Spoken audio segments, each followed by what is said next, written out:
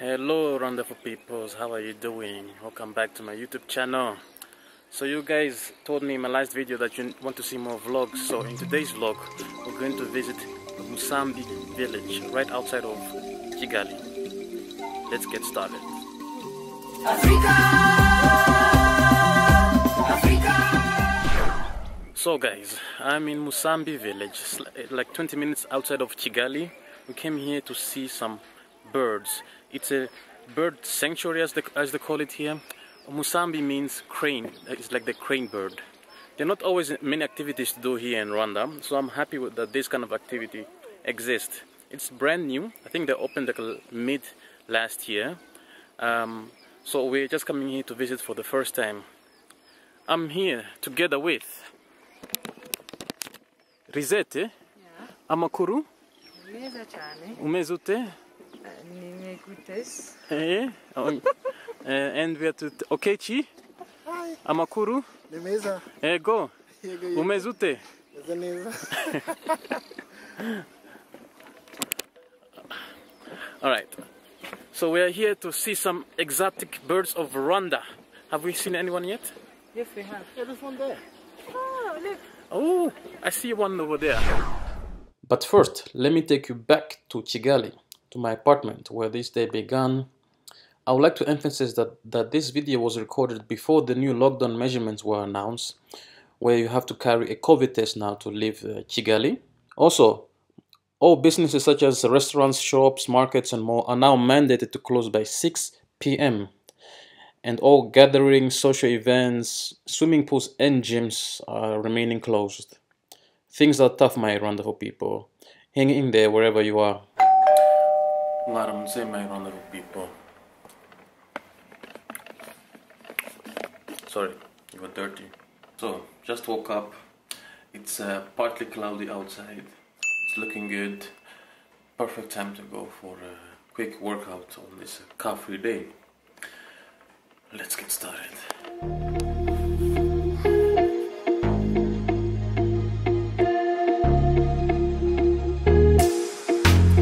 Because the gyms are still closed, this car free day is really one of the few moments many people get to work out. It's twice a month, every first and third Sunday. Certain parts of the roads are closed and they are only meant for uh, pedestrians and uh, cyclists, I would say. It's closed for up to three hours, from 7 to 10 a.m. Um, I rarely go there to be honest, but I try to go there whenever I can. Like today.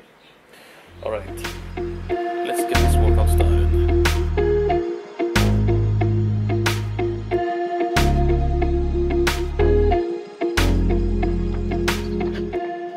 So when it comes to masks and face masks, you are allowed to work out without them, but you must have them right before and right after.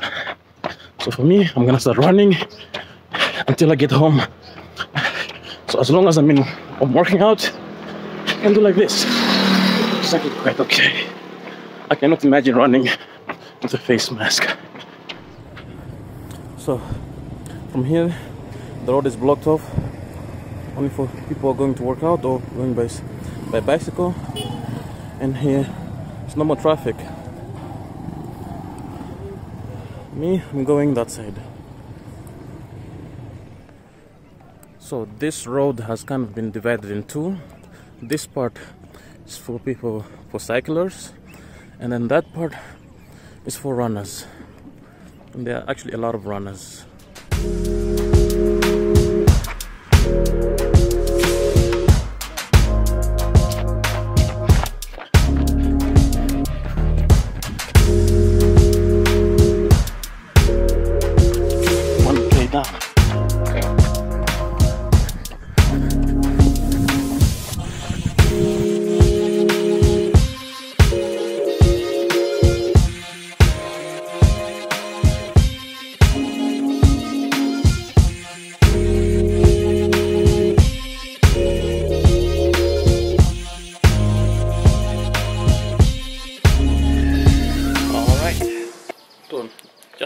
Run.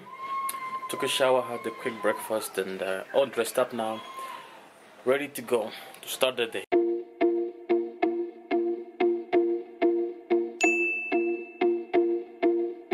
The ride here was pretty straightforward, only 20 minutes by car. We got a great reception.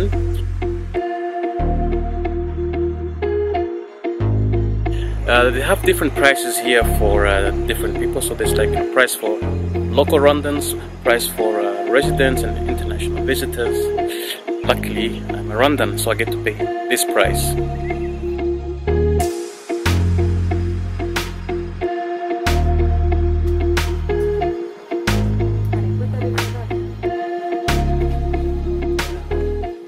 So I'm going to tell you about Umusambi village, what we do, what we are planning to do.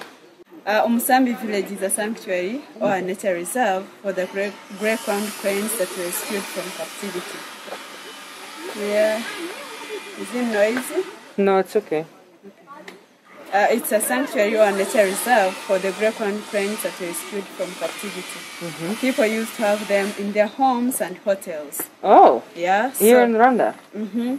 Oh wow. Yeah. So when they had them, some would cut the feathers to stop them from flying away. Hmm. So some people were doing it so badly where you find that a crane can't even fly. So this started as a project in 2014 by a person called Dr. Olivier Nsengimana, hmm. where he started with a big social media campaign teaching people that it's illegal to have them in their homes or hotels because the cranes were getting over in the country. Due to when they plant them in homes, they don't lay eggs to multiply again or to have chicks and multiply. So we are doing such a project like to bring them again in the wild so that they can rebreed again. Mm. So here at Musambi village, we started in 2018. It's a, a wetland that was given to us by the government. Mm. It is 25 hectares and 21 is fenced with electrical fence. Uh, since we started like in 2015 to 28 to 2020, like we do annual census to see if the cranes are increasing or not, de- or decreasing. So we have rescued 310. Here we have over 70. Uh, in Akagera, there are 166. Others are in quarantine facility. We have quarantine facility at Kanombe at the present is Paris.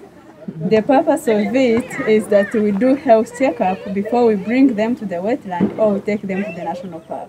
For the other birds. Yeah, for the other birds, like to be sure that if we bring them here, they are safe and they don't cause any other challenges here. So we first do quarantine and then we bring them here. The quarantine takes two months, like uh, at Kanombe, it's two months. Yeah, then so- if we bring them here, we put them in a release pen, like to get familiar of the new environment for the period of two weeks. Then after two weeks, we leave them to roam around. Yeah. Uh, as I said, we started here in 2018, but between 2018 and 2020, when we opened it for the visitors, in, during that period, we were doing restoration of the wetland because uh, wetland was encroached by local community. They had uh, activities which are not good for the wetland. So we had first to do restoration, which includes like removing native, non-native trees, planting native ones, as well as removing the invasive ones. Though removing invasive ones, it's a challenge. We're still doing it uh, like Because they're invasive. yeah we do it like a monthly yeah as also trying to put in the trail so that we can use it as recommended to do. As i say that cranes if they're in captivity or if they're in homes they don't lay eggs to rebreed again. But since we brought them here we are having like success. Some have chicks that have grown and frying, and others are having eggs because during this season, it's a breeding season. Queens breed like twice a year, like uh, according to the climate of Rwanda, they breed in rain season, so they do it twice a year. So so far we have the eggs, and others have chicks. Others have chicks that have grown and that are flying. Uh, so if you're moving, you will see that there are cranes flying and those that are not flying. Those that are flying are the chicks that have grown and others that just coming from other wetlands, coming in like to visit the, fellows. and also those that are not flying, they are the ones that we rescued that we have here. Yeah, so among the cranes we have here, we have one which is like habituated one called Mutesi. She's a female. Uh-huh. Who can tell me how to? uh Can you tell if she's a female or a male? Do you have any idea? Maybe she's uh, bigger. Uh, it's the hair. I don't know. Uh, it's hard to tell that, that uh, she's a female or a male because we do like DNA test. Mm. Yeah, but for us uh, here uh, in Rwanda, we do blood sampling, then we send abroad, like in South Africa. They have Oh, wow. Laboratories to oh. do DNA test for us. So you cannot just look and see, and You can't tell, even Yeah, if we- you catch it and try to see genital parts, you can't. Can't. Yeah. Oh, that's interesting. Yeah. So these are the trails that we use. Right now we are here. If you want to see many cranes, they are found in this area where you can see 50 and above. Others are found in this area where you can see 10 and above. It's our new release area. Uh, so going to visit, you can use this trail called Snag Tree Walk and Lookout mhm. because here it's a boardwalk. If you reach at the end, needs you to go back mm. and maybe use this trail, which is the longest one called Umsambi Trail. It is 750 meters. Mm. Reaching here is two way. You can either choose right or left. You find yourself here. Mm. Oh, coming down here, there is another smallest one called Acacia Trail. It is 50 meters. At the end, it has a chair, and there is another chair here. Uh, coming down here, it is picnic area. Because so far we don't have a restaurant, but we are building it. It's still under construction, so we allow people to bring snacks or soft drinks and sit here and have their snacks. Uh, reaching at the picnic, you see another boardwalk that allows you to access these two trails. The west one has uniqueness because of water pond there and a chair. It's a cool place. We normally see there Kingfisher bird. That's why we named it Kingfisher Pond. Uh, we find there ba- like water birds, kingfisher, herons, egrets, cormorants, and other many, and and some flycatchers. Coming this side, the trail stops here, then needs you to go back, and then you either go the other way or you come up here. We have another, uh, we have an island here. We built uh, like a boardwalk coming from here going there. Though it's still in this color, it's because we haven't yet uh, updated the map, but the boardwalk is, Is that there. what I have seen online where they mm. said they opened it? Yes. That's really cool. and I'd Yeah. like to see that. So this trail is the only trail that we are not using because of water and it's mud. Yeah. Okay. Okay, thank you so much. That's it. Thank you too.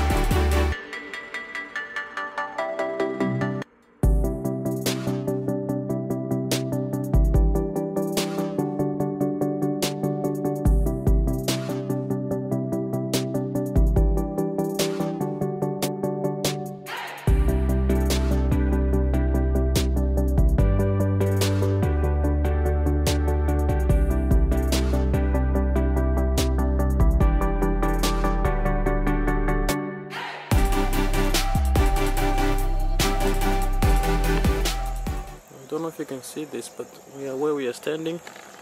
There's actually water. Standing over here, and this is already water.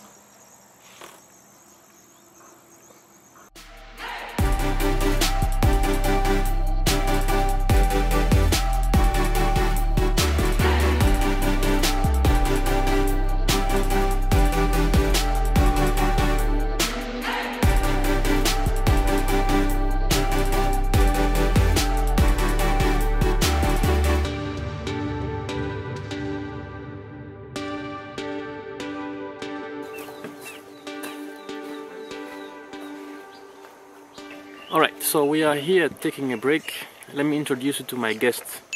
This is Okechi. He's 27. I think. Nigerian and single and smart. and uh, he's the guy we hang around. He's good with cards. Smart guy. And then we have here our blondie, Risette. 27, single, half London. Oh yeah. yeah, and also a member of uh, Kigali Fit. Yeah, so guys, what do you think of the um, of this new Musambi village? It's beautiful. Yeah. Yeah. It's uh, Yeah, same. Beautiful. My first time, like, I'm really amazed. It's lots of birds to see. Lots of birds to see. Lots of birds to see. Yeah. And uh, I've seen butterflies, which makes me happy. Yeah. So it's nice. It's a nice uh, little uh, break from the big city. True.